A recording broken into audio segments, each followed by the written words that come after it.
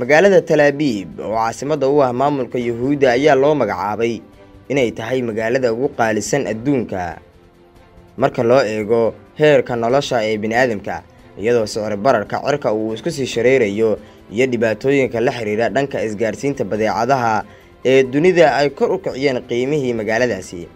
Magaaladan ku taalla israa'iil ayaa markii ugu horreysay kaalinta koowaad waxa ay ka gashay sahan ay sameeyeen unuga sirdoonka dhaqaalaha ee lagu magacaabo e i u iyagoo ka soo kacay kaalinta shanaad sannadkii hore ay ku jireen waxa ayna ku riixeen baariis inay la wadaagto booska labaad singabuur dimashik oo ku taalla dalku dagaalada ay aafeeyeen ee suuriya ayaa waxay sii xijisatay booskeeda oo ah magaalada ugu jaban caalamka ee dhanka dhaqaalaha wax lagu kala iibsado. Sahankan waxa uu isbarbardhigayaa qiimaha doolarka maraykanka ee badeecadaha iyo adeegyada ay bixiyaan boqol iyo saddex iyo toddobaatan magaalo oo ku kala yaalla guud ahaan daafaha caalamka iyada oo loo eegayo hadba magaalo magaalo. E i u waxa ay sheegtay in xogta ay aruurisay bilihii agoosto iyo sebtembar ay muujisay in celcelis ahaan qiimuhu uu kor u kacay saddex dhibic shan boqolkiiba marka loo eego lacagta gudaha.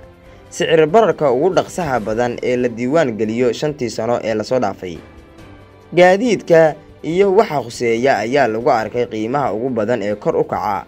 iyadoo qiimaha halkii litir ee shidaalka ah uu kor u kacay koob iyo labaatan celcelis ahaan ee magaalooyinka la darshay guud ahaan caalamka.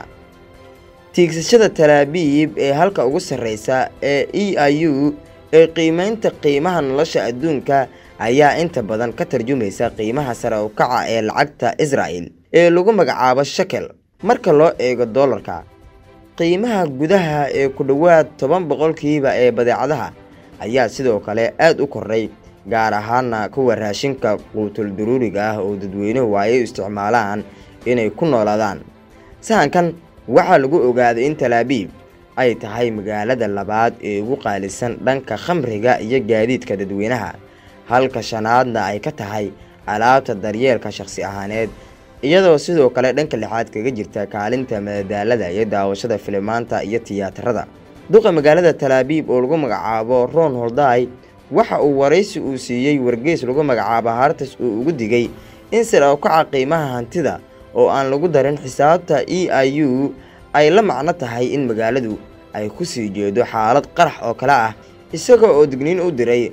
xukuumadda maamulka yuhuudda oo uu ka codsaday in ay soo farageliyaan arrinkaani maadaama uu ku tilmaamay in sir u kaca dhaqaalaha iyo maciishada gudaha talaabiib ay ka tarjumayso in uu waxyeeloobayo dhaqaalaha israa'el oo sababta ugu weyn uu ku sheegay in teknolojiyadda oo ahaa waxsoo saarka ugu weyn ee israa'el ay sameyso in uu hoos u dhacay iyadoo sababtuna ay tahay faafaha coronafirus oo dunida inta badan aafeeyey waxa uuna uga digay maalqabeennadu in arrinkaani ay ka tashan waayaan. Talaabiib waxay noqon doontaa mid aad qaali u ah sida dalka oo dhan uu u sii qaaliyoobayo ayuu yidhi maayarku dhibaatada aas-aasiga ah ayaa ah in israa'el aysan ka jirin xarun kale oo magaalo weyn ah. Maraykanka waxaa ku yaalla new york chicago miyaami iyo magaalooyinka kale. Sidoo kale dalka britain waxaa ka jira magaalooyinka waaweyn sida greater london manchester iyo liverpool. Halkaasi ayaad u guuri kartaa magaalo kale haddii qiimaha maciishada magaaladaada uu kugu cuslaado. Sanadkii hore magaalooyinka baris zurikh iyo hong kong waxa ay wadaageen kaalinta koowaad ee sahanka e i u.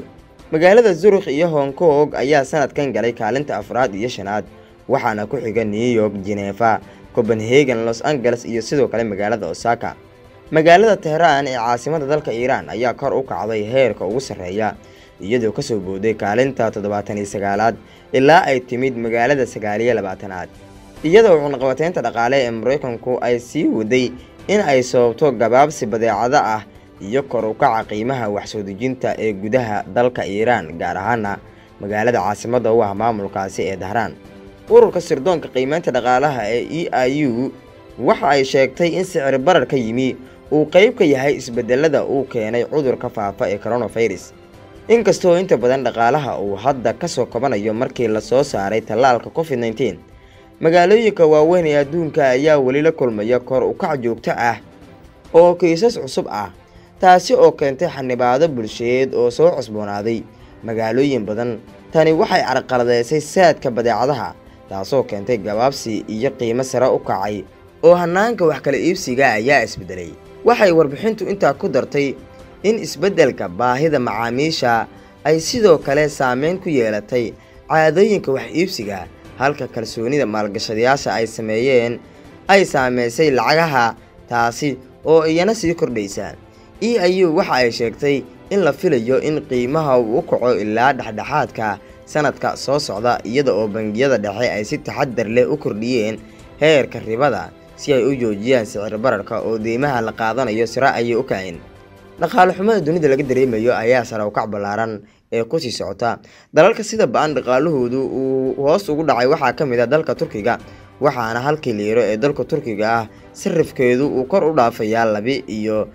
toban liiro marka loo eego halkii dollar. Arrinkaasi waa sare ugu weynaa ee taariikhda uu gaaro liiraha dalka turkiga waxaana madaxweynaha dalkaasi turkiga rajab tayyib erdogan uu sheegay in arrinkaasi ay sabab u tahay faa'iidooyinka bangiyadu ay sameeyaan oo sare u kacay iyo sidoo kale weerar dhaqaale oo dalkiisa uu la kulmayo. Arrinkaasi waxay xukuumadda ankara ay ku kaliftay inay bedisho siyaasadaheeda dibadda iyo kuwa gudaha qaarkood waxaana dhowaan dalkaasi booqday. Amiirka dalka imaaraadka sidoo kale waxaa turkiga uu isku dhawaasho siyaasadeed uu la yeelanayaa dalal badan oo ay ishayeen tobankii sane ee la soo dhaafay sida sacuudiga masar iyo sidoo kale dalka imaaraadka carabta. Madaxweynaha turkiga ayaa sidoo kale waxa uu sheegay in ay ka soo kaman doonaan dhibaatadan dhaqaale. Isaga oo sheegay dalkiisu inuu soo saaran doono shidaal sanada labada kun iyo saddex iyo labaatanka wixii loo dhaafo taasina ay keeni doonto in dalkaasi uu dhaqaalo badan uu ka helo halkaasi. Ayna sidoo kale yaraan doonto oo ugu dhaqaaloobi doono dhaqaalaha turkiga kaga baxaa soo iibsashada gaaska dabiiciga ah iyo sidoo kale shidaalka. Haddaba waxaan gudagelaynaa magaalooyinka waaweyn ee ugu qaalisan caalamka. Shanta magaalo ayaa waxa ay kala yihiin magaalooyinka talaabiib oo kaalinta koowaad ku jirta baariis iyo singabuur oo labaad iyo saddexaad ku kala jira. Magaalada zurikh iyo magaalada hong kong iyo afraad iyo shanaad ku kala jira. Marka laga soo tago magaalooyinkaasi miciishadoodu ay ugu qaalisantahay caalamka waxaa jira magaalooyin kale oo iyaguna ee ku jira kaalmaha ugu hooseeya ee jabnaanta miciishadaha waxaana kow ka ah magaalada dimashik ee caasimada dalka syriya oo dagaaladu ay aafeeyeen sidoo kale magaalada labaad oo ay jaban tahay ku noolaashiyaheedu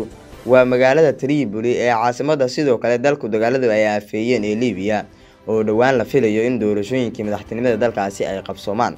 Waxaa sidoo kale kaalinta saddexaad soo gashay magaalada lagu magacaabo tashkent. Magaalada tuunis ee caasimada dalka tunuusiya ayaa kaalinta afraad soo tiigsatay waxaana kaalinta shanaad soo gashay magaalada lagu magacaabo almati